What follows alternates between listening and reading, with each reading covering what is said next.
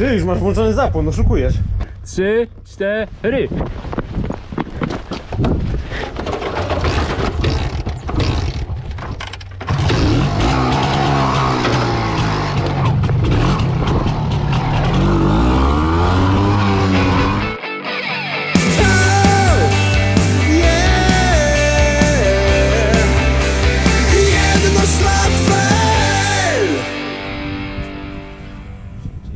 Czerwiec, słoneczko, tor łódź i motocykle.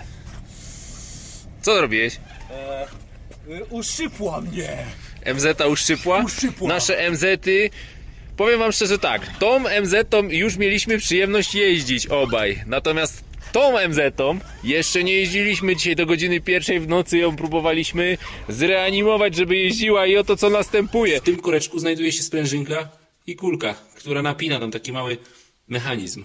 Ale niestety ta kulka nie znajdowała się tutaj, tylko ta kulka znajdowała się tu. Ktoś wsadził, ponieważ ten korek był przykręcony na pakuły i na teflon, bo nie, ponieważ nie ma w silniku gwintu, bo dawno temu został zerwany. No i ktoś go wkręcił na pakuły na siłę, ale nie wkręcił go do końca. I ta kulka sobie po prostu tak, tak, tak sobie była, tak luźno. I poleciała sobie. Poleciała przez silnik, poleciała, poleciała, poleciała i wyleciała w korkiem spustowym od oleju. A w związku z tym, że tu były pakuły i nie ma gwintu, to oleju w silniku praktycznie nie było. Spuściłem setkę oleju. Niestety okazało się, że uchwyt od silnika jest pęknięty. Yy, okazuje się również, że mamy kapcia, ale paliwo, po, powietrze schodzi na tyle wolno, że da się jeździć. Wolniej niż paliwo. Ale na nieszczęście nie mamy sprzęgła, to znaczy jest, ale nie wysprzęgla, więc jak już ruszę tam, to będę musiał jechać aż dojadę. Wyruszyć w ogóle.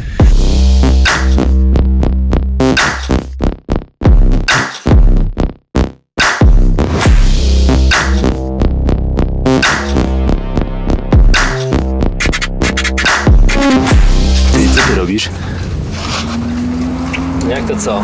Koce grzewcze zakładam. Wczoraj przy ognisku zdał egzamin, to pewnie i dzisiaj na torze. 25-letnie opony trzeba jakoś pobudzić do życia. Grzej się, malutka, grzej! Jejku, jejku, jejku, jaki wspaniały dzień, jaki wspaniały dzień. Jeździmy sobie na torze Łódź i jeździmy nie byle jakimi maszynami, bo jeździmy, jeździmy MZ ETZ 250 Ła! Deluxe. Ty masz Deluxa, ja mam zwykłą wersję. Ja mam zwykłą wersję, ale ta zwykła wersja okazuje się, że jest troszeczkę gorsza. Jest trochę niezwykła. No dobra, musimy być uczciwi. Przyjechaliśmy na tor Łódź maszynami totalnie nieprzygotowanymi.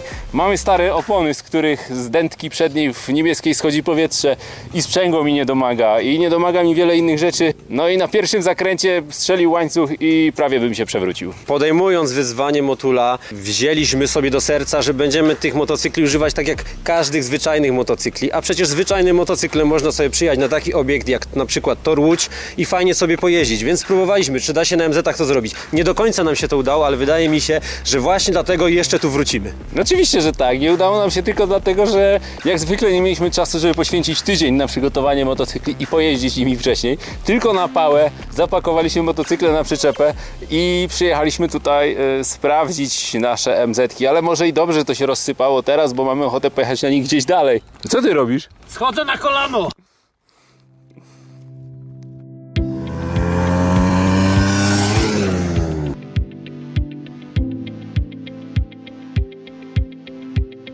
Trochę sobie nie pojeździłeś. No nie, nie pojeździłem, ale znowu będę ją składał. Ja już jestem przyzwyczajony. Po- Czasy WS-kowe i te tematy, no, maszyny muszą się rozlatywać i wtedy jest fan. Wtedy je naprawiamy, spotykamy się w garażu i mamy czas na rozrywkę przy kręceniu motocykli. Gdybyśmy nie mieli takich sprzętów, to pewnie byśmy się spotykali i jeździli, ale wtedy byśmy nic za bardzo nie gadali, chyba że używalibyśmy interkomów. No ale po co używać interkomu, skoro można sobie pogadać przy śrubczeniu. No, O, jest jakaś przygoda. co się stało? Tarcza chyba trze. O klocki. Ta z tyłu? Ta z tyłu. Nie miałeś problemu z ABS-em jak jeździłeś? Nie no, na szczęście tutaj jest tryb y, Race Pro, więc go od razu włączyłem. Wyłączyłem dzięki temu trakcję, wyłączyłem ABS i włączyłem najbardziej ostrą mapę, co pewnie było widać, jak mi nie chciała czwórka wskoczyć. Ale wysyłałem ci mapping 2, żebyś zwolnił, że ci się paliwo skończy. Tak, ale oczywiście brakło mi baterii w wyświetlaczu, w akumulatorze i no i nie doszła ta informacja do mnie. No ale to nie jest najważniejsze. Czekaj, czekaj kolego, bo mi się wydaje, że kolega coś ściemnia. Proszę zdjąć obudowę. Proszę pana, Chce mi pan powiedzieć, że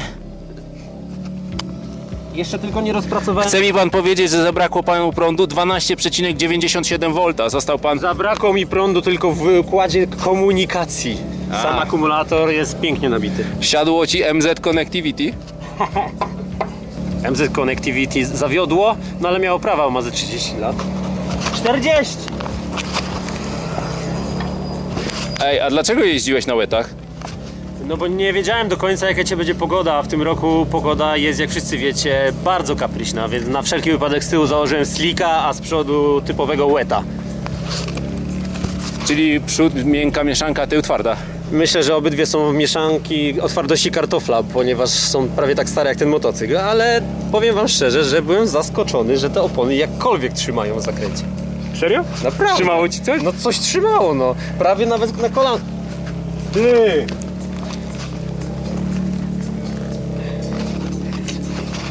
Czekaj, czekaj, czekaj. Co tu się wydarzyło? Przecież to był nowy slider.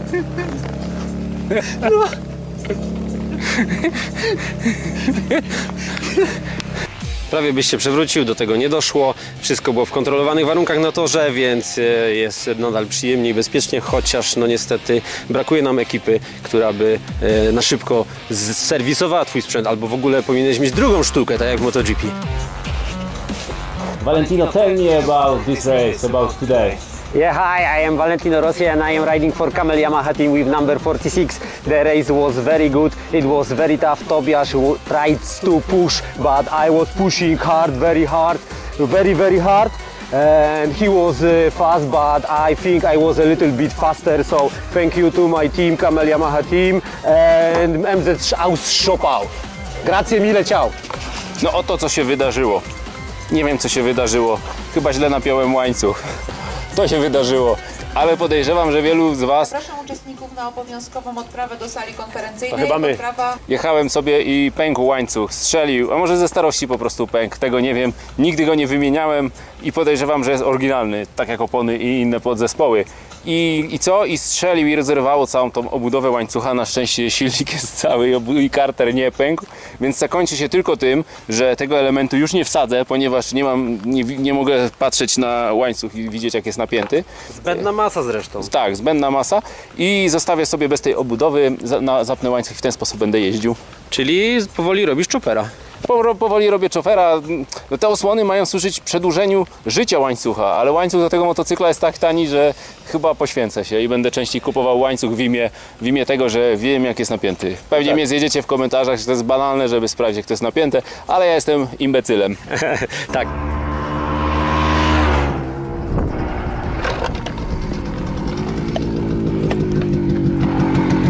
Cześć! Kurde, szkoda.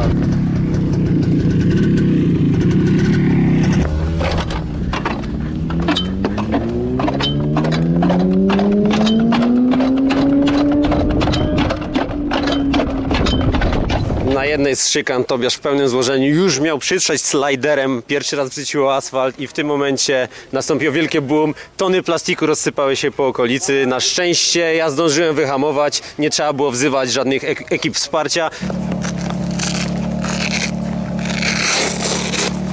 Przecież nie powiem żonie, że nie przytarłem sliderami nowymi. Nie wiem w którą stronę. Później się ułożę. Co nakazała ci przytrzeć sliderem? Nie, bo pomyślisz, że na torze nie byłem.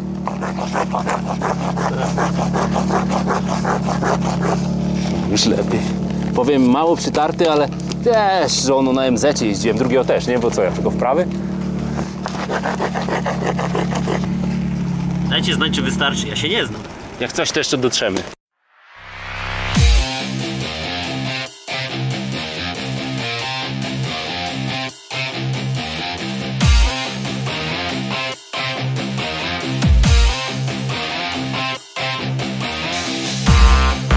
Państwa, to będzie jedyny wywiad z zawodnikiem, który właśnie schodzi na kolano. Jak się Pan czuje? A dziękuję, całkiem nieźle. A co Pan robi?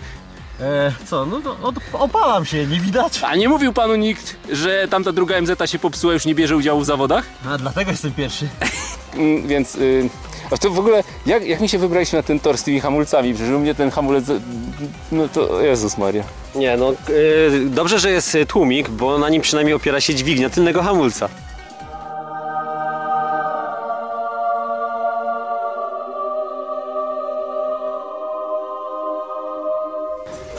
No i silnik się wyrwał z ramy. Może to jest ten pro- problem. A może to faktycznie jest ten problem? Ja chyba muszę powiercić głębiej, bo zapewne pamiętasz, że w momencie, kiedy wystawiliśmy ją z szopy, to łańcuch nie był założony. I tu może być taki problem, że ten silnik jest na tyle krzywy, że on cały czas spada i może było tak, że on spadł i gdzieś tam się zaklinował i pękł. I dlatego pan Czesław postanowił jednak sprzedać motocykle od wujka, bo nie wiedział co z tym zrobić dalej. No i właśnie tego typu miejsca, miejsca jak to Łódź są świetnym miejscem do testowania zabytków, których no do cholery nie rozebraliśmy ich. Zrobiliśmy tylko tyle, żeby nimi jeździć, żeby przeszły przegląd, żeby działały. No ale nigdy nie masz pewności, czy wszystkie śruby są gdzieś tam głęboko dokręcone. No ale nie masz pewności w każdym używanym motocyklu, niezależnie od tego, czy on ma 50 lat czy 5. Zgadza się. E, dziękujemy Wam, cześć i pa, trzymajcie się. Do następnego! A w następnym odcinku obiecujemy, że będą za nami płomienie, helikoptery i napalm.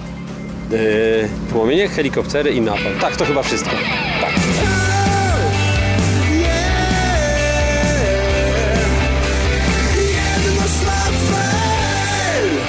Jorge, tell us about your race. Oh, this day was not for me. It was not good day. I have problem with my machine. As you can see, the chain problem, everything is broken. I need to fire someone, you know, next time, maybe next time.